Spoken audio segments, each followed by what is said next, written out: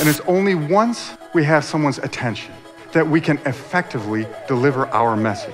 And their body language will tell you. You just need to know what to look for and what to do when you see it. You want to train the subconscious mind? Hypnosis? Repetition.